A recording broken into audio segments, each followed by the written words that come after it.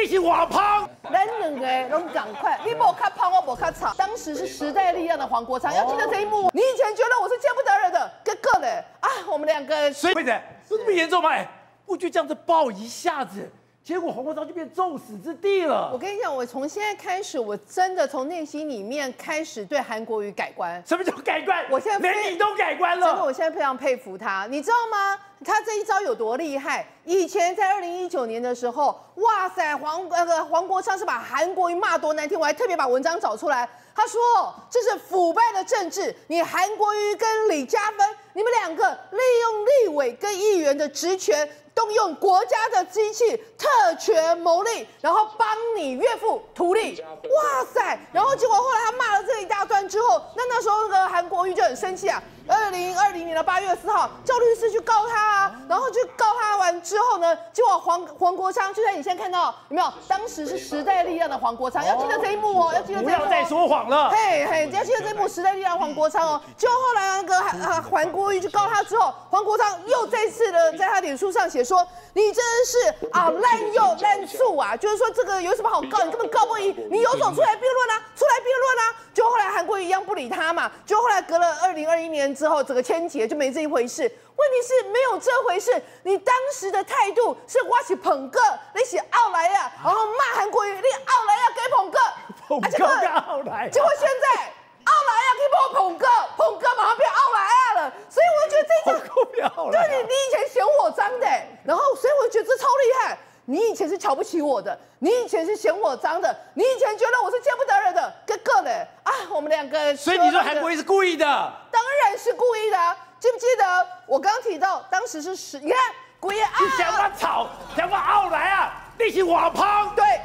就是这样一幕，所以为什么叫做千古传奇的画面？我个人都，我个人也觉得是，他根本不需要跟你韩韩那个那个呃黄国昌在辩论，他根本不需要跟你大小声，我只要透过这样一个拥抱告诉你，我们赶快的，嘿，咱两个拢赶快，你无较胖，我无较吵，你无较优秀，我嘛无较较那个在低下，你唔是平捧够，我嘛不是奥莱啊，就是这样一个画面，把所有事情都道尽。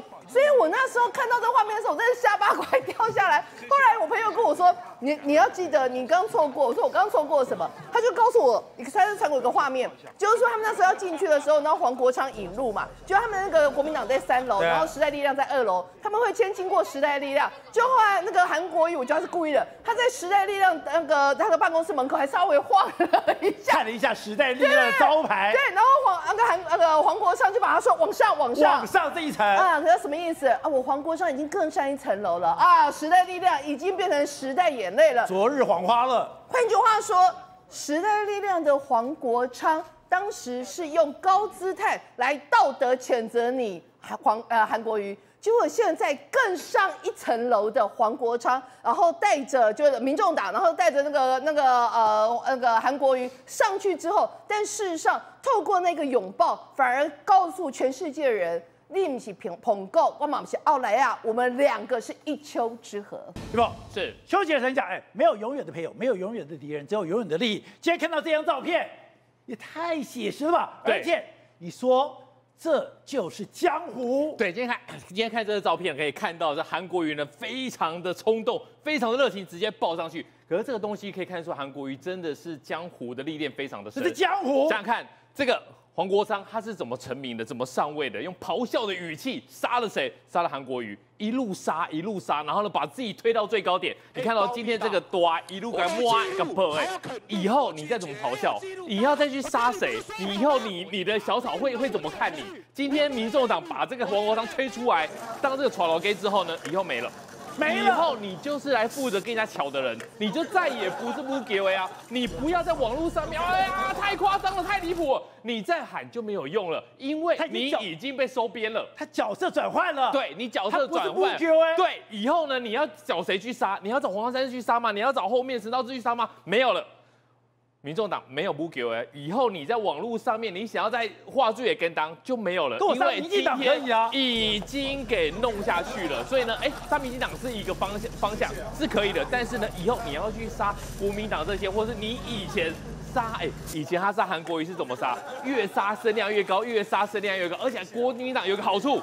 不会反手，会不会还手。今天大家都在讲说，今天就是民众党最快乐、最光荣的。你看哦，两个大的党团，两个大的公司都来这个地方，好像你今天当大哥一样。但其实我看的完全不是这样。你看什么？你看哦，以前哦，如果要有人通缉犯要负责公司去杀人，会拿到一笔安家费，然后呢，在他动手之前极尽光荣，小弟就变大哥了。你在动手杀人继续关之前哦，谁都要来看拜会你，谁都要来给你阿沙子，为了公司做做事。你看今天民众党就是这样子吧，把国民党叫来。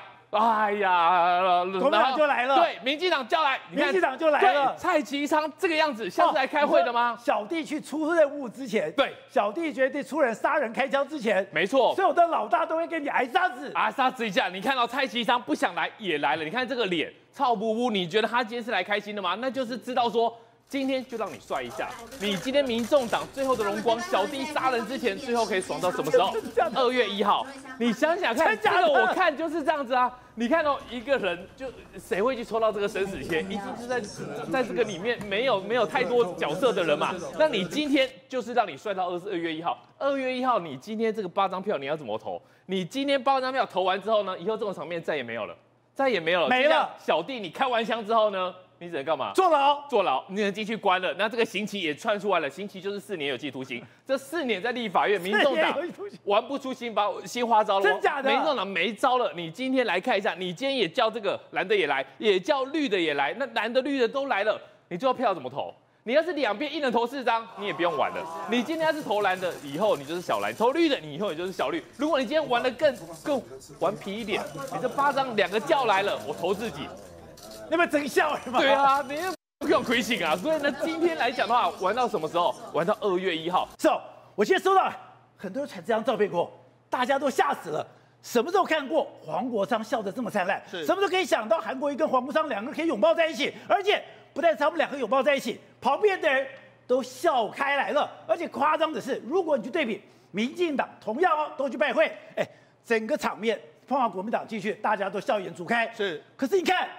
在民进党进去了以后，对大家如丧考妣。没错，像民众党这一次呢，他到底立法院院长要支持谁呢？我们可以把它说是民众党之前有所谓路线之争，路线之争，路线之争来说，哎，到底我们要这个跟蓝合作，还是要跟绿合作？这里面有两个非常重要的代表人物，跟绿合作的话，一般都说黄珊珊嘛，因为黄珊珊她比较阻挠跟这个蓝白合这个状况。然后跟蓝合作来说的话，主要路线是由蔡壁如。我们之前讲过，两个女人之间的战争，其实我们可以把它看成是一个民众党路线的这个战争。路线战争对，但是今天呢，你可以看到两个画面就出来了。他们这个黄国昌还有他们立院的党团分别见了这个韩国瑜，还有见了尤熙坤。这画面来说的话，你一看就知道说，哎，未来民众党的路线其实可能会非常非常清楚了。路线出来了。对，为什么？你可以看，像早上他跟这个韩国瑜见面的话，你看两个人非常开心的这个这个见面，你看。不只是韩国也开心，江启臣开心，然后你看，连旁边的陈昭之跟这个黄珊珊，其实都相当的开心。可是我们看到另外一个画面，下午跟这个尤喜坤见面的时候，你看完全都冷冰冰。我们看，你看黄国昌的表情就不一样了。那你看尤喜坤这边苦笑，那你看蔡其昌是演根本笑不出来，相当相当的臭啊。那你可以看，这好像是说，哎，我强迫背到这个地方来陪笑的感觉。感觉后面有一支把枪把他压上去对。那你看到黄珊珊的表情，或者像陈昭志的，其实都跟上午非常不一样。我们可以把它比喻成，一个是冷冰冰，一个是热烘烘，那个感觉是完全不一样。而且我觉得最有趣一个对话是。韩国瑜去了以后，不是跟大家拥抱吗？是拥抱了以后，到下午游戏坤去了以后，他还说：“哎，那黄国昌跟大家拥抱吧。”要去跟蔡依昌拥抱的时候，你看，蔡依昌马上就很冷。对，蔡依昌马上讲。我只跟我老婆拥抱，我不抱别人。对，你看上午的时候最当然大家抱成一团，大家最有戏的就是你看韩国瑜跟这个黄国昌两个抱在一起的这个状况，果然印证了政治上没有永远的敌人啊。宝洁两千零二十年的时候，韩国瑜选选总统的时候，他是怎么 K 韩国瑜的？对，他还到他们的沙石场说这个是腐败政治，我们要彻底铲除了。就他还不是还讲说有一块农地，对，农地下面全部都是他们家丢的所谓的垃圾，对，就他还被韩国瑜告，就两个人还有官司，就没想到现在他们两个居然可以抱在一起，而且笑了还这么开心。那人家下午的时候，你看这个这个这个水蔡其昌就去了嘛，因为早上说他们抱那么开心，他想说下午哎你们比照办理啊，苍苍可以抱一下，这个黄国昌跟蔡其昌两个可以抱一下，昌昌抱一下，上午是果果啊，下午是昌昌这样配抱一下，就没想到蔡其昌算是我的好朋友。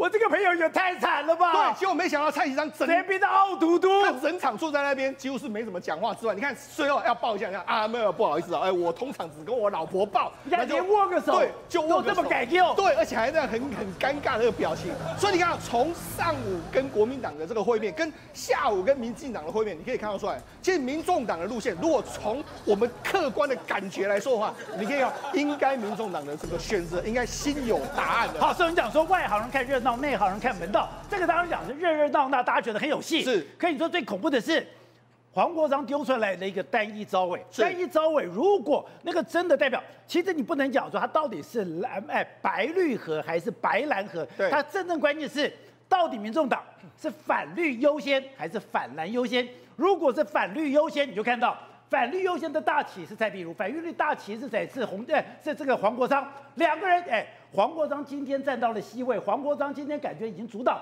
主导了以后，你是不是一个反绿的大旗已经张起来了？反绿的大旗张起来之后。他又丢出了一个单一招委，而说这个单一招委是对民进党来讲最恐怖的打击。没错，实际上这个黄国昌在这里已经抛出一个另国会改革的另外一个关键，就是单一招委制。他那天讲到说啊，之前有所谓一个一个委员会两个招委，他说两个招委就是沦为什么分赃。他说喂，我们要强化整个立法院的这个政治来说，要单一招委。单一招委制来说，其实这个意这个所谓争议非常大。你看，民进党内也没有统一的声音。就你看上这个后来呢，尤喜坤要报会的时候，尤喜坤同意了，他就丢出了这个四项改革。四项改革里面有一个第四项，其实前三项都大家觉得没有关系，但是第四项可以说是踩到了民进党里面很多人的红线。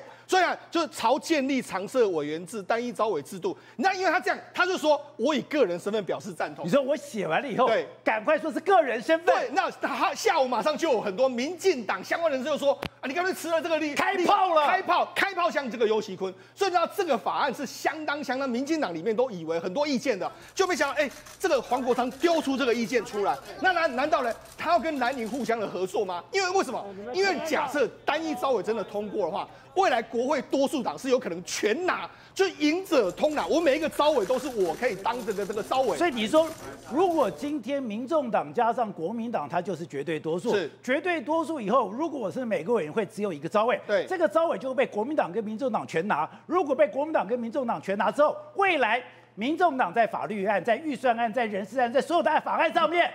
你都没有提案空间了。对，应该是说在法案的这个招委可以排法案的优先顺序，优先顺序的时候，其实招委就扮演一个非常重要的角色。这个对民进党来讲的话，可能他在立法院的表现上面来说，就会显得非常的这个仗自爱的这个状况，甚至国会因为权力很大。可能这个政行政权就会受到牵制，所以呢，有人就说黄国昌丢出了一个毒苹果，说哎，这个很糟，这是毒苹果，很糟，我们要这样子来做。那这样来做的话，当然国我们啊早上他们跟国民党是谈的非常开心呐，双方是不是对招一单一招委有相关的这个政策，我们不不得而知。但是你从下午所有民进党都开炮开往游戏库，你就知道说很多民进党是认为不行的，不不能这样做了。所以搞不好立法院的院长选举这只是一个起头战，接下来的话如果。假设民众党跟国民党两个合作的话，你看从单一招有这个案子引起民进党这么大的反弹声音，你就知道说，其实未来国会恐怕会相当相当的激烈。董事长不是讲说民众党是不重要的八席吗？不是讲无足轻重吗？现在这是蓝绿都去拜访，给足了面子，但有趣的是。两边的表情，两边的反应也差太多了吧？对啊，所以看起来就是蓝绿来讲，民主党是对这个韩国语来讲的话比较热情呐，而双方面比较发自于内心的欢迎呐。那就是对绿来讲的话呢，就有一点比较大家比较干相敬如宾，僵化一点嘛。你看这个属于比较应酬式的一个，但是今天韩国瑜去抱那个黄国昌也太夸张了吧？韩国瑜本来就是很夸张，所以有韩国瑜的夸张才有融冰的效果啊！融冰的效果把韩国把就把他三个那三个人站在那边，对不对？他们的这个铁三角，对，民众党的立法院铁三角，你看到没有？笑容都灿烂。黄珊珊、黄国昌，对，你看那你看那个笑容，你看令人感动，对不对？这韩国瑜是一个高手，韩国瑜在。这个感动，这个这玩这种队是高手，这不简单，成功的达阵，应该这样讲。所以我就二月一号的没有什么悬念的啊。这韩国瑜了，应该就是这个韩国瑜跟江启臣担任院长跟副院长。可是他本来不讲说，你今天民众党的巴西根本无足轻重，可是哎，今天蓝绿两党都来朝圣了耶。呃，没有，对，无足轻重的说法，大部分是绿军的说法啊。蓝军没有讲过这句话，而韩国瑜从头到尾都非常配合民众党的节奏，包括他的政策啦，还有他今天要尊重小党啊，要帮助小党，韩国瑜讲的非常的今天的大气啊，我有看他的说法，对，他基本上示出非常多的善意了，他已经把这个民众党啊，把他捧在手上，这样捧在手上，呵护在手上，你看拥抱完以后，那那以后民众党在韩国瑜当这个所谓的院长之后，可以呼风唤雨吗？当然不可能，不可能，因为要被照顾嘛。韩国瑜讲要照顾小党嘛，对不对？第一个你小被定位成小党就很憋了，啊，林北的岁寒呢，对不对？那不会摸大汗呐。啊，第二个韩国瑜要照顾他，我都不知道韩国瑜拿什么东西照顾他的啊，因为来照照顾他很可能就招委，因为我觉得他们最后的谈判的决策是看招委，如果在招委没有进入实质谈判的话。在投票前没有讲清楚的话，我觉得国民党连赵伟都不会让哦，因为这个很现实利益的关系啊。所以换言之讲，如果他们当天的投票方式，当面投，如果不在第一轮投下这八票的话，给国民党啊，对，我认为国民党连赵伟一起都不会给他，谈都不用谈了。不，你我刚好巧后啊，你你给的你给票给的扭扭捏捏不上路嘛，你不上路的时候，我们就打给这动作磨啊嘛，因为到最后的谈判招委是谁来谈判招委？那这边傅昆萁谈判啊，傅昆萁根本不跟你客气啊，傅昆萁的招儿是来自于他各党内同志推选出来的，啊，大概是长博高最博然后就叫博给嘛，那你就你就大家拼嘛，是，所以那当然还会有一些谈判空间啊，不会说硬到那种完全要到搞得剑拔弩张了，所以关键在第一个二月一号的投票，第二个是投票后的招委，啊，这这两个是主要主题嘛，那这两个有没有帮斗连在一起谈？对，我看这个样子是没有。看这样子，因为都都公开了嘛，对，没有密室协商嘛，因为国民党也不愿意密室，对，没有人愿意，不敢跟你密室协商。就是柯文，就是柯建明讲的，谁敢打电话给他，吓都吓死了嘛。所以这搞到没有信用这个东西啊，很难搞。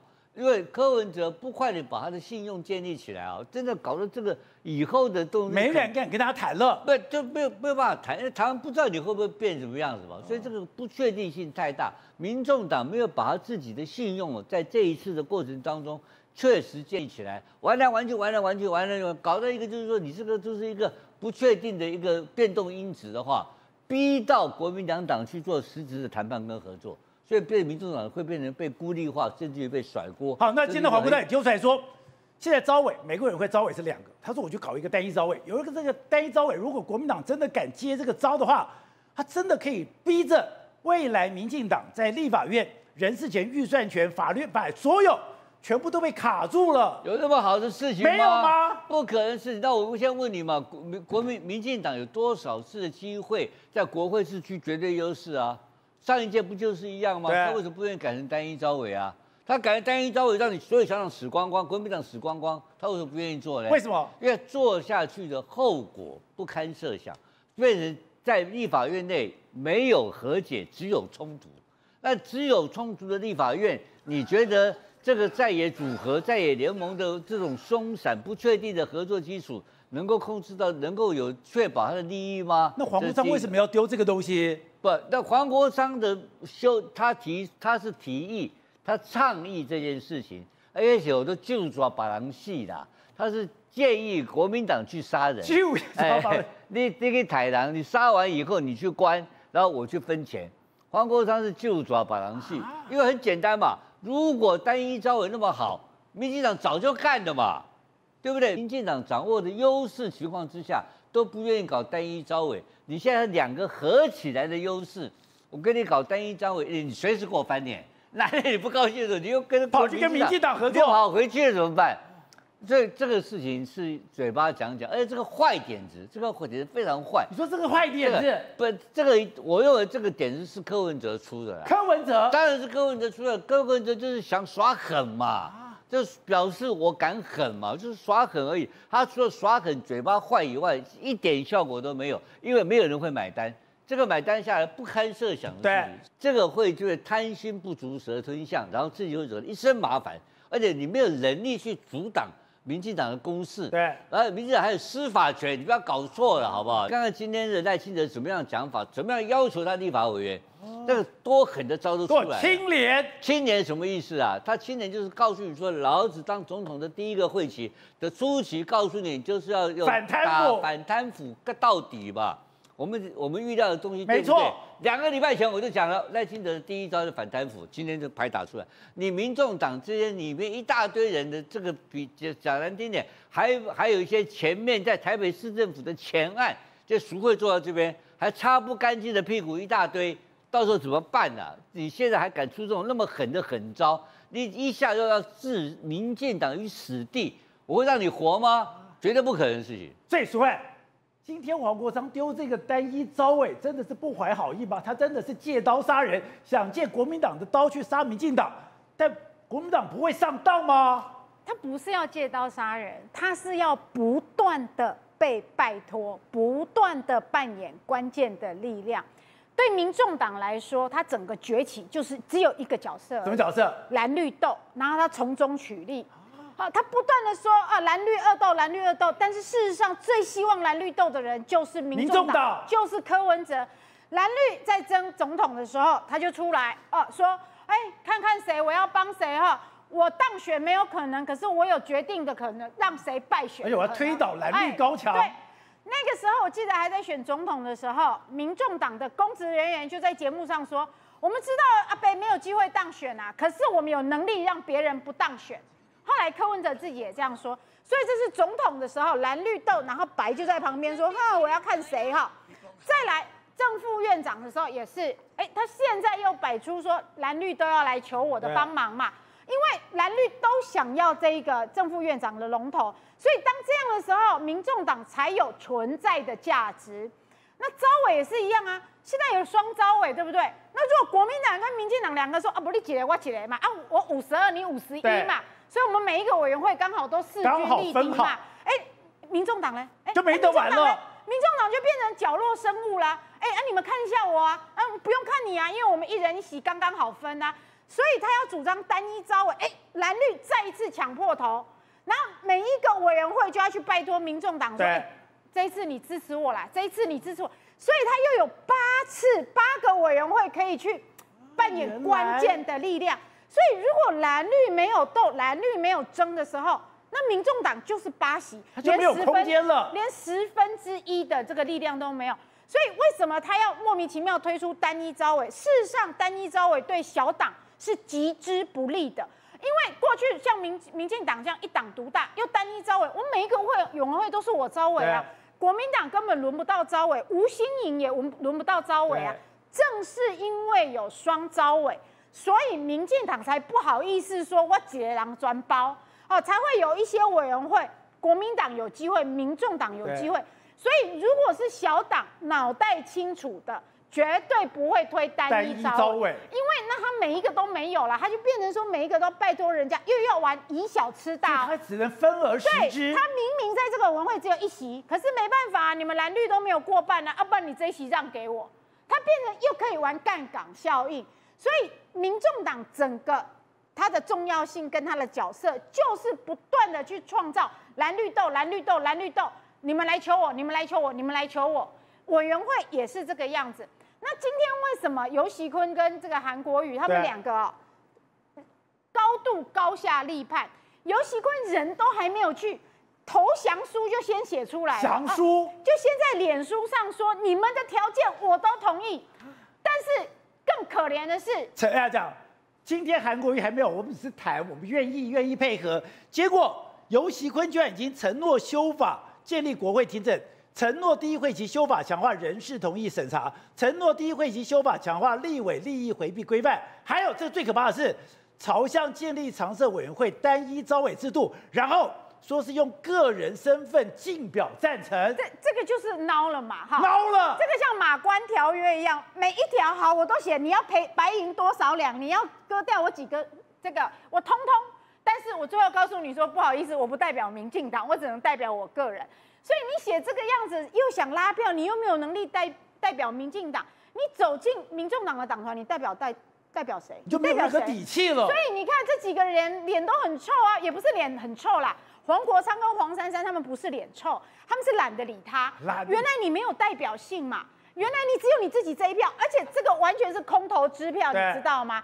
因为等他如果真的当了立法院长，他根本不能提案，也不能表决，所以他的个人身份变成零票。他说：“哎，不好意思啊，我我是答应你了，可是我不能投票啊。”所以说你讲了半天，仅以个人身份竞表赞同，就变成废话了。就废话，因为他的个人身份到时候就不是立委，而是院长，他不能投票，也不能提案。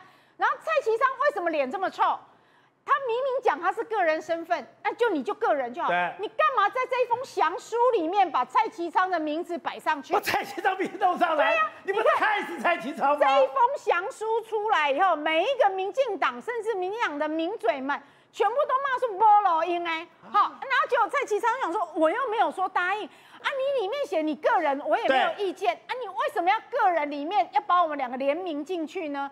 那你有没有问过蔡其昌？所以今天我觉得尤喜坤哈就是败相已露，他这他已经在做最后一搏了，拉着老老脸去跟民众党说啊，伯安内娜，我个人都答应你，你要我脱西装、脱衬衫、脱外套，我都答应。想拍垮的可是只有我我而已哈，我们的党都不支持我。那你说民众党当然不会要尤喜坤一票，还要尤喜坤一票干嘛？反观的韩国瑜跟这个江启臣，他没有答应什么条件，他说国会改革，我们一起来。那这个就是大家有维持到基本的高度，可是他讲了一句话才是民众党真的要听的。那些什么改革，我说都是玩假的。不然讲什么？照顾小党？为什么要照顾小党？立法院里面还有很多资源，立法院里面的党团的运作、工作费、立法委员的出国的经费、考察的经费等等的，这一些院长都有分配权。所以为什么他改改革里面前三项都提法案？最后一项莫名其妙跑出来一个定期公布经费，他要知道你立法院的经费怎么花，有没有我民众党的一份？走，未来四年刚刚讲的，柯批能不能东山再起，能不能在整个角逐总统宝座，看的是这八席立法院的不分区的八席，能不能有关键性的一个力量？在这个当中讲的立法院院长就变得至关重要了。是，所以本来讲，哎，柯文柯建明讲，你这八席是废票啊，对，你没有影响力啊。那看到，可是当柯文哲今天出来，他居然讲说希望蓝绿这副院长到民众党党团表达态度，我在考虑支持谁，不然每天接很多电话，私下拜访压力太大。韩国瑜跟尤其跟马上说哦好。我要去，对，那不就代表他真的可以扮演关键性的力量？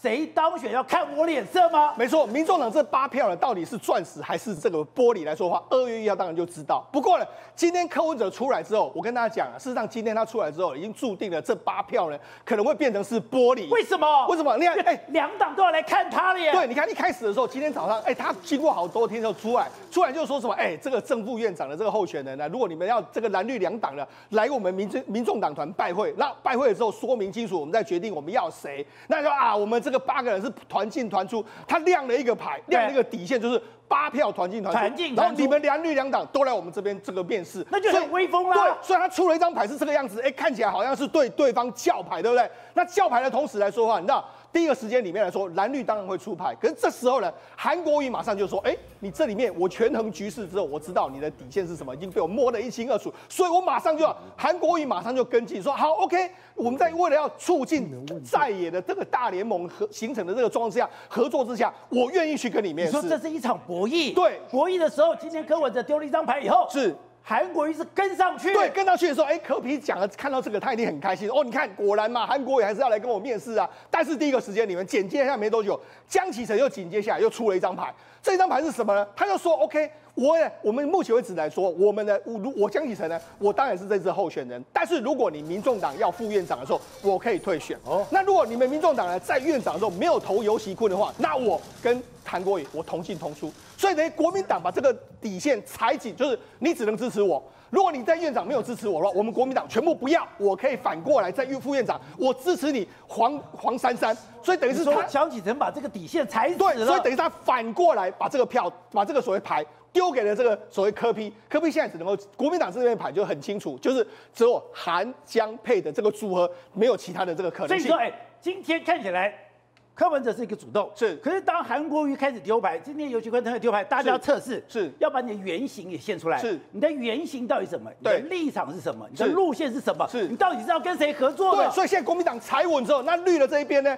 绿的这边尤喜坤当然也说，OK，如果我获得这个提名然后，我愿意去拜访。可以愿意去拜票之后，保洁长绿的这一边也立台立场也非常清楚了。为什么？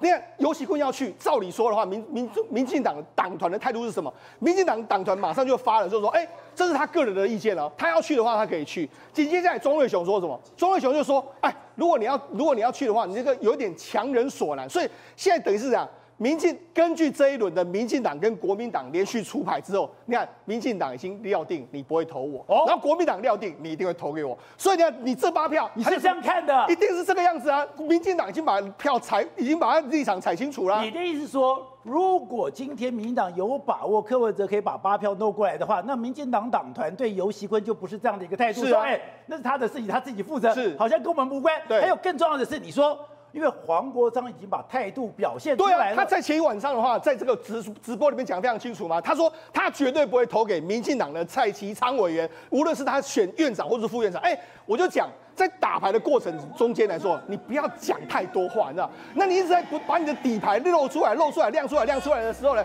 当然大家知道你的态度是什么嘛。那其实以目前的这个情形来讲的话，当然今天人家问到这个这个蔡奇呃这个黄国昌，黄国昌啊没有啦，那是我个人的意见。可问题是你越露出越来越多的线索的同时，同时之间，目前为止来说，两边的叫牌是不一样的。国民党的叫牌是直接跟你叫到底，那民进党目前的叫牌是我没有要跟，那要跟的话是他个人的意见。所以你要讲两边的态度其实已经摆明了，民众党要投给哪一边，其实两党都已经知道你大概最后会投给谁了吗。你都已经知道你的底线，对你就是如来佛手心头，就像那个孙悟空，是你转来转去，你就在这个地方。对啊，你看这几天的时候，国民党从态度由从硬，然后变软之后，然后又现在又变硬，所以呢，照事实上他的这个科批最后的态度是什么？其实民进党跟国民党大家心中都已经有谱了。好，宇轩，可这个时候大家有点困惑啊，真的是这个样子吗？现在民众党真的被看破，因为你的选择非常有限吗？我刚才讲的是，哎，今天你站出来，然后呢，现在看到了韩国瑜，哎，韩国瑜马上就说，哎，我愿意去见面，那不就趁了柯比的入意吗？不就证明说他是关键少数吗？不然看起来是柯文哲一在出牌嘛，对不对？感觉他一直对韩国瑜叫牌，韩国瑜被迫回应嘛，其实错了，韩国瑜已经完成了，他已经将军他了。什么叫将军？这个就是将军？我们讲哦，象棋里面有一个阵法叫双炮阵，今天韩国瑜就是把这个双暴阵打出来了嘛。各位，你不要以为说下象棋是我要将军被吃掉我才输了，没有，你动弹不得的时候，那个时候才叫做你已经认输了嘛，这是逻辑嘛。来，我们现在第一个讲韩国瑜有没有回应他四大诉求？回应了啊，韩国瑜四大诉求就说好啊，我同意啊。对啊但柯文哲是在制造嘛？我还可以不在籍投票，哎，对，柯文哲我还加上了这个核能。就是你要什么我都答应你嘛，我都同意你嘛，对不对？但是他在做这个动作之前，他先做了什么？我确保我五十四票票票入轨，我自己的底气做足嘛，我先把阵给布好嘛因。为《孙子兵法》有一句话说：“先为不可胜，以待敌之可胜。”也在打仗的时候，我先要立于不败之地，我才能够去求胜。对，韩国瑜的不败之地就是这五十四票，我已经到手了，这时候他才开始处理民众党，才开始处理柯文哲。所以各位，你仔细看一下韩国瑜怎么布阵的，弄到五十四票，跟民众党谈四大诉求，我同意，这是第一个炮。而第二个炮是什么？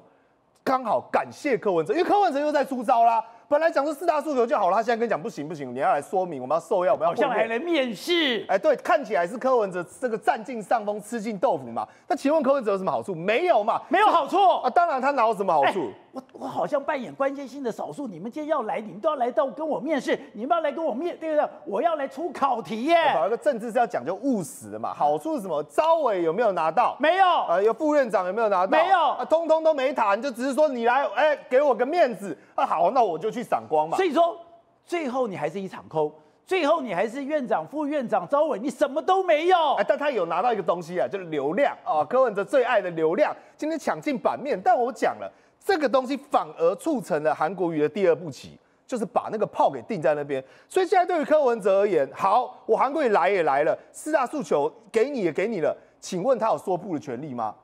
啊，他也可以说不。哎，但是他说不会变成什么？会怎样？啊变里外不是人嘛？就像你的六点承诺签了以后又跑掉，哎，对嘛，丢脸的是你自己嘛。因为现在国民党已经四尽善意，所以各位你不要搞错了，他是开一个门在那边，你以为韩国也在让，其实韩国也在攻。当我攻进去的时候，假的，我一步一步棋把你堵死了嘛。今天柯文哲他只有一个做法啊，我就被你将军了啊。对不对？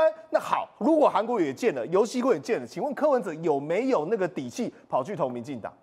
他要怎么样交代？可是我还一直讲啊，一般的政治是一尺之外就是黑暗，可是对柯文哲来讲，眼皮之外就是个就是黑暗，而且谁都可以测。哎，连伟汉这种老江湖，他说说他没有看不懂柯文哲。哎，不，你看不懂柯文哲没关系，你看懂韩国瑜就好了嘛。韩国瑜现在他的底线，等到他见到柯文哲跟民众党谈完之后，他就只有两种做法：要么我五十四票获胜，要么五十四票躺在沙场这个沙场上，要么你民众党愿意来跟我来。至于刚刚我们一直在讲，为什么是废票？因为无关胜败嘛。你如果真的要去投民进党，对于我而言有差吗？没差，因为等于是你要放弃掉非绿六成的选票，对，跑去做维护常理，跟民进党合作在一起。但柯文哲其实根本没有想。柯文哲就要讲，你不要对我情绪勒索，我我不怕这个东西，而且我们本来就是可以既竞争又合作的啊，把既竞争又合作在选票结构摆在那边嘛。但柯文哲为什么会去讲这些？因为这不是他在意的点。他根本不在乎立法院正副院长是谁嘛？我保一个，我退一万步好了。今天民众党拿不拿到正副院长？拿不到，拿不到嘛，对不对？那不管或蓝，不管或绿，对于未来的意思，对他们提案有帮助吗？没有啊，对嘛？唯一有帮助的是招招委，是策略联盟嘛。但至于柯文哲，他的重点不在于这保留根，刚我们刚一直在讲到，他只是要流量而已嘛。对于柯文哲而言，你有没有仔仔细看哦？今天我反问一件事情，他召开这个叫做立委政策方向研讨会，对不对？那他有没有必要这边大张旗鼓敲锣打鼓，然后引来二三十家媒体，然后拍给大家看？没必要，没有，他就私底下找他们来谈就好了。啊，人家讲会叫的狗不会咬人，会咬人的狗不会叫。对你干嘛要这个昭告天下？我来了，柯文哲来了。再来，我再问第二个问题：过去在立法院所有的这些，我们讲哦，立法院长的攻防跟主导性跟议题的选择权是在谁手上？黄珊珊跟黄国昌嘛。那柯文哲在做什么？柯文哲在天气很冷、寒流了，各位多穿一件衣服。他没有角色，没有舞台嘛。还有他在否定期，对嘛，走不出来。所以你现在看懂了嘛？柯文哲为什么今天要跑来这边抛出团进团出，抛出说你敢不这个团进团出，我就开除党籍。事实上，他唯一要做到只有一件事情，就是争取镁光灯焦点。因为他脱离镜头太久了，他觉得说整个目光的舞台跟中心跟核心，通通都放在黄国昌，通通都放在黄生身上，所以不是天气冷，是柯比的心很冷。对你，而且你仔细看柯文哲今天很有意思，他穿着一件夹克，对，这件夹克是什么？台北市长的夹克。哎，真的，都不看，这是柯文哲的夹克。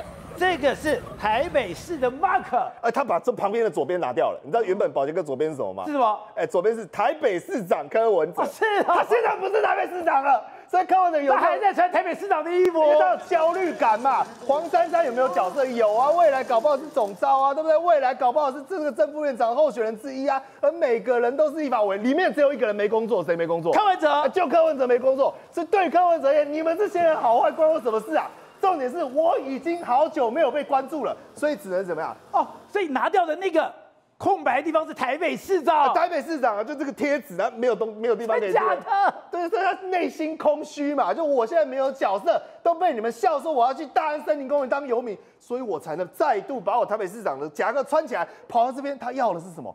他要的是角色。他要的是舞台，他要的是镁光灯，所以对于韩国瑜，即便杀招进出，他也根本不在乎。反正我只要流量蹭到了，我什么也不用换到，没关系。直到二月一号之前，我不能让黄珊珊，也不能让黄国昌成为唯一的焦点嘛。所以今天还有个细节，宝那个很好笑。黄国昌回应了，黄国昌回应说什么？回应说他针对这个什么他的建筑有没有拆啊，骂赖清德啊。然后你知道柯文哲做一个动作多有趣吗？跟他抢麦克风。黄国昌刚讲完，然后麦克风还拿在手上，记者还要继续追问柯文哲说：“来来来来来，哎，我忍不住，我要讲一下，你赖金德赖皮聊蔡了没？”他说：“哎呀，我想要补刀，我真的受不了，他受不了每一个议题我都需要存在。”他这个动作非常清楚，是他只有站在绿的反对面，他才有力量啊！而且他要讲了一个重点，他说：“未来我就等着看黄国昌能够跟柯建明两个斗来斗去，我要吃瓜子。”那我就问。既然你都已经假定这个前提了，你有办法立法院票投民进党，然后呢让黄国昌再去跟跟民进党这边互杠吗？逻辑上根本就行不通嘛。好，我看你最喜欢从这个细腻的地方去探究整个政治人物的心理。今天，哎，在这样的一个场合，他明明知道很多人会来看他，他特别穿上台北市政府的这个所谓的制服，而这个地方过去是台北市长，他这个真的有他内心的反应吗？还有。虽然你常常说你自从六点协议之后，你看不懂柯文哲了，可他今天为什么要出来？他再不出来的话，没有存在感，没有存在感。他现在就是这八席立委啊，所以显然他以后上班的地点就是他的台北办公室啊，然后呢跟这个党团，对对，民众党的立院党团，所以他跑去立法院党团上班。他但是我他每天跑去立法院党团上班，我觉得会好。为什么？因为就不会有双黄谁是头的问题。党主席就坐在那边嘛，他直接挂立院党团主任，主任对吧？安德厚啊，对，可以啊，为什么不行？本来要蔡碧如去做那个缺，他自己来做了。没有立院党团主任不可能让蔡碧如去做了。现在基本上形同在做这个工作人就是黄珊珊，因为他现在目前哎，宝杰哥，因为四年前民主党有五席立委进来，不分区嘛，好，就是当时的蔡碧如，然后这个这个这个这个邱成远，邱成远，那所以党团基本上。党团的存在是这样哈，现在目前整个党团到底谁是头，这点很重要。那现在看起来黄珊珊是头，可是黄珊是头，黄珊珊她在立法院的相关的这一些，包含议程、包含提案、包含立法院的这些流程，她不会比黄国昌熟。黄国昌当了四年立委，对，所以到时候就是很可能他们两个到底，如果他们意见一致没问题，如果意见不一致就麻烦了。意见会不一致吗？如果不一致啦，如果不一致的话，重点在于他今天来喊牌。他今天来，他是来喊牌的，对啊，展现他的存在感啊。谁要当立立法院院长的人来我们党团，说服我们才投给你嘛。所以他就要扮演关键少数啦。那他的关键会告诉你，就是什么四种五种投法没有啦，我们就是团进团出。而且他今天呛香，只要有人敢跑票的话，立刻开除他。开除他以后，后面递不上，你就没有立委了哈。那所以这八个团进团出到底是投蓝还是投绿？我们其实也分析了一个礼拜了。重点在于，刚刚宝杰哥在问我，我们在开录前，我跟宝杰哥讲说，我不是节目效果这样讲。我今天在这边真心的跟所有关键时刻的观众朋友讲，政治眼前一寸皆是迷雾，遇到柯批眼皮以外都是迷雾，你看不懂他，我看不懂就承认自己看不懂嘛，不要在那边假装自己很懂，要猜他会怎么样。对我跟宝杰哥来讲哈，照理讲我早就已经分析过了，合理的做法就是投自己。对我既没有投给民进党，我怎么可能投给民进党？我以后要监督民进党的，民进党会有个行政院长来，对不对？我还要大小声拍桌，太离谱了。对，那结果我就我去投给民进党的院长，这很怪。因为而且你在这个是一个政治性的合作，政治议题的合作就代表你的立场跟原则。对，所以如果我们简简单这样讲，应该大家观众朋友没有没有什么意见嘛？就是应该是要监督民进党，因为他执政嘛。你是在野党，你不监督执政党，你怎么会有力力道呢？对不对？所以这时候你应该照理讲不要投给游锡坤，可是呢，你又不想投给韩国瑜，那很简单，就是通通投自己不就好了吗？可是这件事情为什么搞到后来，现在又要跟大家讲说，哎，来来，我们来来谈一谈，以后变成他想让外界觉得说，你们谁想当院长，得过我这一关，对不对？这个就这样嘛。对，我决定嘛。我是决定立呃立院长跟副院长的这个关键少数。对，所以关键的少数，重点不是少数，是关键。我能决定谁是立法院长啦。柯文哲今天想要传达这个意思啊。可是蓝绿都有嗅到这个味道，民进党特别有警觉，民进党党团马上发出一个新闻稿跟大家讲，我们现在还不知道谁来选。当然就是尤其坤跟蔡其昌了哈，那但是为什么说不知道？因为他二十九号经过一个流程嘛，他们开党团会议的时候再来决定，然后呢，再由那个我们民进党的立法院长的那个参选人去拜会。宝杰哥，请注意哦，是拜会。我今天当然要选院长，我各党团都会拜会嘛。四年前国民党选的是赖世宝，民进党是尤其坤，他有没有去民众党跟时代力量拜会？有有啊，因为我当院长，我需要，可是他需要去拜会吗？四年前他不需要去拜会，因为民进党六十几席啊。可是他有没有去拜会？有，所以我当个立法院长，我礼貌性去拜会。现在票数五十一席，没有办法直接独立的当选，但我还是要去拜会。可是你不能把它弄成是什么？就是老柯讲的，你私设行堂啊！我要进来以后被你考核，你八席可以考核我们五十一席，凭什么？所以呢，尤其坤今天也讲了，等到我们党团过了以后，提名我了以后，就是通确定就是让我去选院长的时候，我一定会去拜会。可是院长拜会各党团，是因为以后我是大家的院长。我并不是去那边跟你拜托、这请托，然后还在那边哈，就是哦，就是有求于你。他民进民民进党不会接受尤其坤去那边有求于他。反过来，韩国瑜这边也是一样，他直接告诉你说我们愿意去拜会，可是马上补上一个哈，就是张启成对张启成他的脸书很简单，我跟韩国瑜韩哥同进同出，同进同出。我在这边最后时刻，我还是告诉你，我可以退。所以民众党如果愿意合作，哈，韩江不行嘛，哦，这这这个韩江不行，我还有韩山啊，我可以往山上爬，啊，韩国瑜黄珊珊啊。如果你愿意的话，我们现在马上谈成。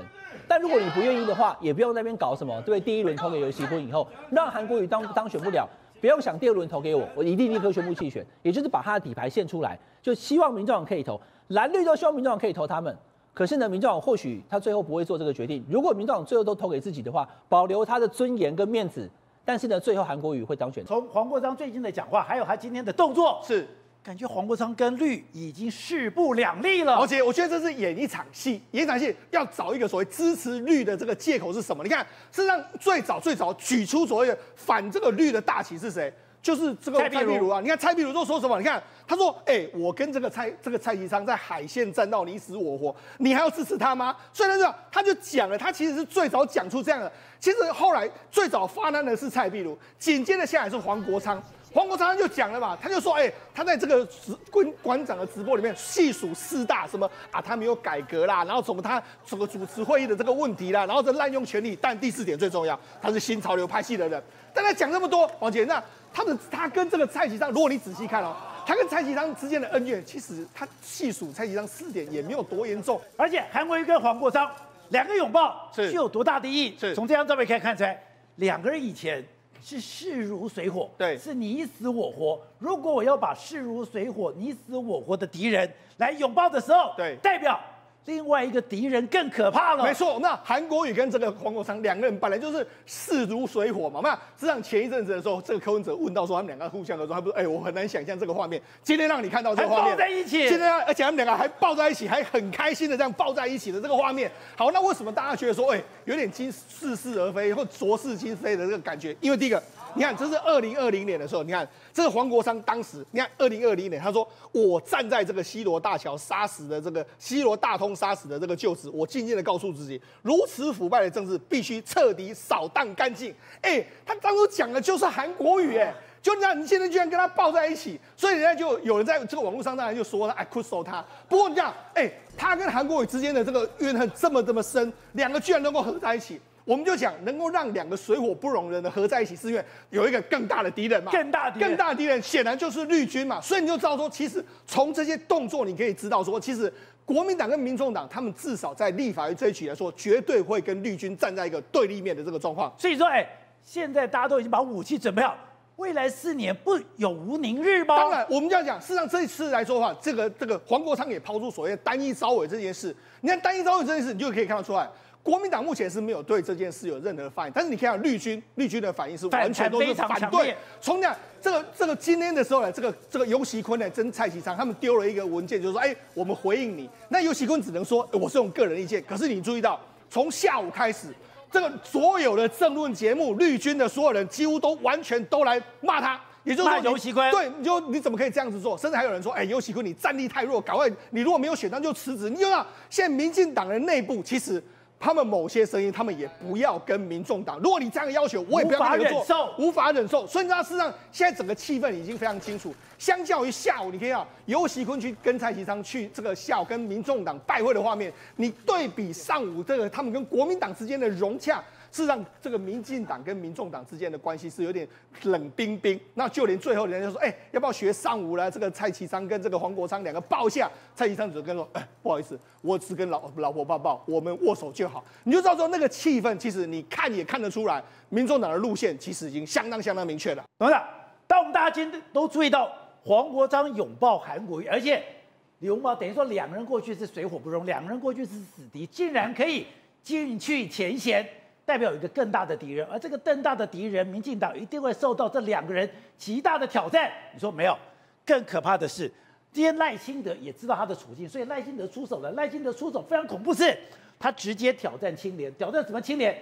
他连蔡英文政府的清廉都敢质疑。如果他连蔡英文政府的清廉都敢质疑的话，那他的刀会杀在哪里？这个反贪腐的路线会攻到什么程度？接下来。会整个天翻地覆、血流成河吗？赖清德当选总统的第一件事情就是推出新潮流啊！他推出新潮流，换言之讲，他要准备当民进党的全民进党的总统，准备当全民总统。那他当全民总统的唯一的政绩，在最短时间是在五二零之后，就是第一件，只有一件事情，就反贪腐。那反贪腐来讲的话，一定是前朝贪腐，他会抓吗？他当然百分之一百了，但是一定要杀全朝全他，所以他现在讲的，他现在讲的就是民进党啊，他有讲别的党吗？没有，他每出现他讲哦，总统蔡英文的政绩非常好哦，但是民进党仍然遭遇相当的困难，这其中一原因没有特别留意创党精神，哎，创党精神什么？清廉、勤政、爱乡土。对，然后后面讲的更简更简单，每出现一件牵扯到青年的小事情，就会减少一份力量，完全就讲青年了，不要讲别的啊，对没有什么什么爱乡土都不要谈，就是青年是他的第一项最要紧的一个执政目标。对，换言之讲，五二零之后就开始就砍了嘛，就先先搞青年嘛。所以说，如果青年的目标还继续背在他的身上的话，他翻不了身了。对他，所以他第一件事情，而且青年是他的包袱，在选举中间最悲、最痛苦的一件事情，包括新潮流给他带来的包袱，他也背负了这个这个背负到他现在这个选票流失的事实嘛，所以这个他通通要翻转的、所以他这个时候来讲的话，不把他快点快速在他的短时间之内把他民调拉高，青年的成绩做出来的话，你认为他是四年好选吗？不好选，很困难嘛，所以他一定要大干。可他敢吗？他怎么赖清德在台南的政绩里面，他在抓这个反对，用司法上去，他的对手跟他司法抓李全教李全教包括议长这个郭信良，通通都是司法，包括他现在我都认为说，在台南就会是第一个示范区，台南可能会先动手啊。台南我我听到消息，台南会是第一个动手目标。台南接下来会腥风血雨、血流成河所。以前案因为选举而耽误的案子，现在会重新启动。对我认为在这个目前四个月当中的空窗期，台南就会动了。那当然一定是前朝的一些的弊案嘛。，对，前朝弊案他非动不可啊。他他如果不动前朝弊案的话，他等于概括承受，你知道吗？哦。概化承受是变什么样的情况之下？到时候我下一次选举，我就拿来打你啊。对，所以他不可能去概化承受前朝弊案嘛。然后，当然第二个更重要的就是台北市政府的弊案嘛。对，啊他会打台北市政府。当然打台北市政府，柯比在去年十二月零十二月八号接受这个蔡碧如的专访的时候，对，就宣布过啊，他说如果我选输的话，赖清德一定会清算的、所以柯批就自己讲了啊、所以前两天监察委员针对金华城提出了纠正，那只是一个起身炮警告。我觉得全面性的，而且他现在两个问题了，就第一个柯比他挑战了赖清德四年后的总统，对不对？那白绿票本身的重叠性太高，同同质同质性又太高，这个就是他怀匹夫无罪怀璧其罪的第一个问题。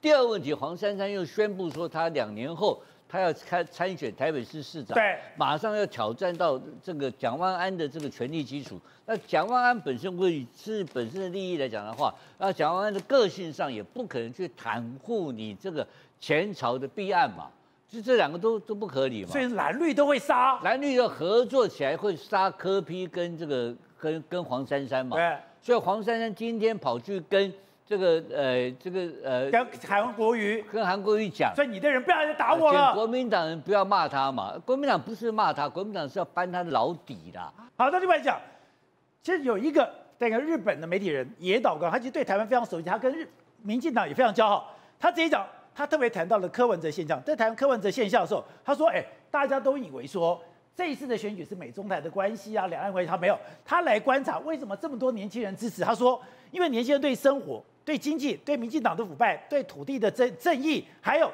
候选人的支持，都无法忍受。”不，这个呃，日本人有日本人的看法啦。其实这里面啊，真正的关键的变化还是在蓝绿本身的这个对年轻人的这个隔膜了哈。然后还有一个就是在技术性来讲的话，在技术性来讲的话，科批确实他花了很多钱在所谓网络上面的布局，包括连抖音对，这个关键人，因为抖音是民进党不准时运用的社交媒体，不能碰。所以那科比就大量运用抖音，那个那民进党、国民党来讲的话，根本没有用抖音的条件，所以很多刚好复杂在一起。然后还有在盖牌的时候，最大的问题就是说科比今天最大的困难是什么东西？就是欺骗嘛，诚意的问题。他用欺骗的方式取得这些选票，如果他用正确的资讯的话，他拿不到这个票。他骗大家说他是第一名嘛，所以才造成很多人误导年轻人投票给他。其实这是选举技术的这个结果，对但是结果会怎样呢？结果有改变了选举的最后结果没有，没有，所以四年后也是一样，他仍然是扮演一个就是说成事不足败事有余的角色，但这个角色他四年没有机会吗？没有完全不可能，还没有机会。而且而且这个他扮演这个角色很糟糕，就是害人害己了以后，还招致到今天的赖清德对他的这个眼红、觊觎、要追杀，都是惹祸上身的主要原因。赖会追杀，因为他欺骗嘛，你用骗的方法嘛，如果你用正大光明的方法来选的话，我就是第三名，第三名嘛，那赖就不会被赖的票就不会被的那么大量的流动嘛。你用正当的手法来选举的话，赖不会追杀他嘛。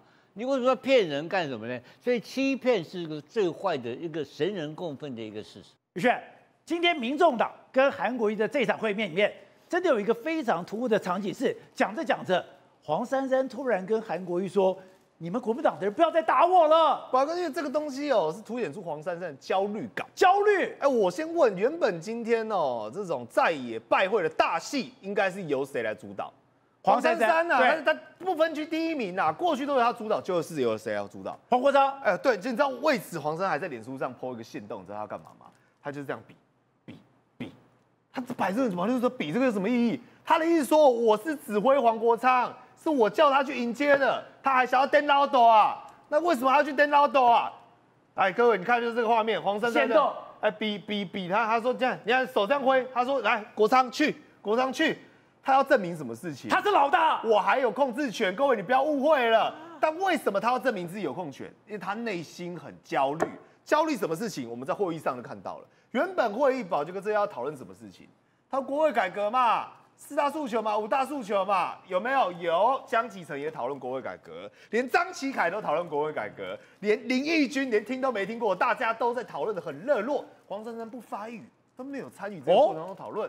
结果呢，到最后关头，他才冷不防冒出一句话，说：“哎、韩国瑜委员呐、可不可以麻烦你约束一下你们国民党的委员，不要再攻击我了，攻击我了，这太针对性了吧？不是那个话题里面根本没有双方两个政党的攻防，他突然冒出这一句话而，且宝，你要想象当时画面呢，现场画面是什么？大家都在大笑啊，哈哈大笑，气氛融洽，开玩笑，你侬我侬的，现场很热络。就你突然丢出这句话，是什么？完全冷场王嘛。就韩国瑜，你知道怎么回应他吗？说：“哎呀，珊珊呐，这个你委屈了。”你辛苦了，哎呀，你这段路程我经历的比你还多，哎，像我过去，你看被这个黄国昌修理成这样子，那黄国昌还很高兴，哈哈大笑，笑得满脸通红。那我们就反问啦，黄珊珊为什么要在这个时间点抛出这为什么要这样丢出来？因为他已经发现自己玩过头了嘛。他先前一直在打国民党嘛，反正这是标准的怕狼挂 Q 狼嘛。我先改你跑，给你摸冷滚啊，就是你跑过来要回击，我说哎买了买了，先不要，为什么？因为现在时空环境大不相同了。我们先搞清楚，黄珊珊现在最害怕的是什么？是我们刚刚谈到的赖清德要去打贪，赖清德要清廉，以及国民党所有人都把矛头指向他，说是蓝白破局的战犯，是小绿，是小一女孩，是促成在整个失败的凶手嘛？这件事情黄黄珊珊解决了没有？没有，他原本为什么不需要解决？因为原本只需要跟一个人负责，这个人叫谁？柯文哲嘛。他为什么要去做这么多奇奇怪的事情？为什么要撕毁六点声明？为什么要当鹰派？为什么要跟小姐姐不断的攻击，找各种战犯，从媒体到政治人物，各种场域都是他的敌人？为什么？因为他展现自己，我才是你最忠诚的护卫军。柯主席，我永远效忠你，我是你的鹰派，而其他人等都可能是渗透，都可能是间谍。所以我为了主席，我谁都可以杀。啊，当然嘛，这是展现忠诚、巩固他权力核心的最好方式。你说柯文哲有没有信他？有有信的服服帖帖，三三说了算，当他小弟了没关系。但现在出现一个大问题啦，那柯文哲去了哪里？宝哥，我们今天讨论了一整天，柯文哲去了哪里？没有他的画面呢，在整个立法院议事攻防这个最重要，大家讲议会龙头的时候，他却消失了。为什么？因为主体性很重要嘛，主体性现在就是不分区委员。那柯文哲是什么工作？有大安森林公园，他无业游民嘛，他没有工作嘛，所以他才会穿着台北市长的背心，很害怕自己没有角色嘛。所以这种情况下，黄珊珊自然而然搞清楚了。如果说柯文哲拍板，未来立法院主战场确实是蓝白河，要反绿这个非律阵线要全部整合在一起，那请问他的角色定调尴不尴尬？尴尬。他未来哎，这不是院长的问题呀。韩国瑜通过之后，请问招委民众党要去拜托谁？韩国瑜要去拜托谁？国民党，请问未来在提案法案共同一时攻防要去找谁？国民党嘛，领督嘛，你今天认国民党当大哥了嘛？你以为国民党是塑胶吗？当然不是啊！你今天还是要透过韩国瑜去跟党团沟通磋商，才有可能促成去提到你要的案子，才有可能促成去让你的招委能够拿到一席两席嘛。所以这时候黄珊珊需不需要他的角色？不需要，他的定位变成是什么？变成是累赘，变成是阻碍了嘛？所以黄国昌笑得很高兴，而且搞不好还变成眼中钉了。那你所以你才懂了嘛？哎，今天是不只是黄国昌，哎，连陈昭之都加入反绿了。陈昭之说什么？说哎呀，对比傅昆萁搞成秀喵喵，哎呀，民进党都不是我们不理不睬。我跟你讲了，不要以为讲那些哦什么护台言论就能收买我。他脸书上写的，说你们展现了十足权力的傲慢，连陈昭之都反了。陈昭之跟黄国昌聪明嘛，转得快，他们看得懂嘛。他们现在是什么政党？民众党了，已经不是以前的，也不是陈水扁了，也不是民进党，也不是时代力量，在民众党就要做民众党该做的事。而民众党最大的利益是什么？反绿才会有最大利益嘛。所以两个人，你看为什么今天韩国瑜左右护法梁 T T 两个人在 Q 那边啊，Q 啊哇。他们搞得清楚状况嘛，所以那这时候黄珊珊该怎么办？他没办法，他尴尬，只能赶快跟韩国瑜拜托，先处理他跟国民党的关系。哎，请求国民党委员不要再打我了，饶过我了，放过我，好不好？他这句话是不是真心实意？这跟以前黄金会差别最大差别在，以前是语带恫吓，哎，是你需要我，现在是我需要你。哦啦，这个这个国语委员。帮我处理一下，不要再攻击我。但讲白了，请问黄珊珊现在想要洗刷、想要洗白、想要转向跟国民党合作，容易吗？国民党不会相信他了吗？当然不会。第一个就不会相信他，第一个就处理他，因为他小英女孩跟跟民进党色彩太浓厚了，很难去解决嘛。所以你仔细观察，今天不只是国民党，包括连蔡其昌来、尤熙坤来，他也没给好脸色。所以黄珊珊现在已经开始在做角色转换、角色调整了嘛。但我就讲了，已经为时已晚。坤远，哎，你也是老江湖了，你也是看尽很多的这个所谓的风风波波。你说，你也看到了韩国瑜拥抱黄国昌，而且两个人的表情，连你都吓到了。对啊，这两个原来是世仇哎，从二零二零那打到现在，黄国昌一直是绿的代表，对，然后深绿代表，一个是深蓝代表，啊，那个不只是什么相逢一笑泯恩仇这样子，他不是私人恩怨了，那。结果两个人今天这样子抱在一起，韩国瑜那种抱法，那那个是喝完酒以后，哎呀，你是我兄弟啊，那个整个抱起来。汪道涵碰到辜振甫讲的那句话：“渡尽劫波兄弟在，相视一笑泯恩仇。”对他，他们现在那个状况是这样的，而且你没有发现那张照片里面其实很惊人，尤其跟下午的这个对比对比，你看旁边的黄珊珊、张启凯，好，大家都笑得多开心，好，那个是。黄珊珊跟张启凯这两个人呢，他是藏不住的。哦，我们都认识他们那么久了，这个人的这两个人表情是藏不住。你看他下午的那个跟那个游戏官的照片，对，就是很僵硬的。奥嘟嘟那个，对，所以就是啊好，就行礼如仪。好啊，那个早上有国国报，下午要不要有苍苍报？啊，那大家那个蔡其章都说不用啦，我只抱我老婆。对对，我只抱我老婆了。那那所以这个方向其实就是民众党的定这个方向，你觉得是定这一局里面大概已经八九不离十，已经定了。那那没有对外说明，那其实大家都在在里面在玩，说是反绿还是反蓝还是什么东西？其实他就是做一个场，然后过一个场了以后呢，最后拍板定案叫做柯文哲，柯文哲还是在后面操控一切。那黄珊珊她代表的叫做柯文哲啊，他一直忠心耿耿，那代表的叫柯文哲。也就是说，黄珊珊在这一局里面，那她要扮演的角色不只是甄嬛，她柯文哲身边，哦，我是你的宠妃，好，我是你最疼爱的人。No，她叫做富豪，我还可以帮你大杀，帮武丁，帮你国王大杀四方，去灭鬼方。那所以我是你的御前带刀四品护卫。对，我还是。那不但是亲信，然后我还我还这个是可以帮你大杀四方的将军。那他想要扮的是这种角色，可是这一仗并没有成功哦。那黄珊珊其实是要帮柯文哲背很多的东西的哦，所有的指责到他身上去，他我觉得他以他对于自己的那个民生的要求，对，那他已经快要受不了了。好，也就是说，黄珊珊其实很珍惜羽毛的。你说他今天跟韩国瑜讲的这个话，真的是充满压力了，充满压力，而且他说：“哎，我们两个党既然要合到一起作业，你们的人什么林涛啊，什么每天对着我修理，这样也不好吧？”那他其实大概的意思是比较是是这样子，是既然要和，大家他要他就要求和，好，那就就是两个党既然要合作的话，那那他才会提出这种要求。那我这样子讲好了，就是黄珊珊她在这个这一局里面，哦，有一点冤啊，这我老朋友帮他讲一点话，老朋友啊，对他他有一点冤，什么叫冤呢？通常是这样子，那个我们的。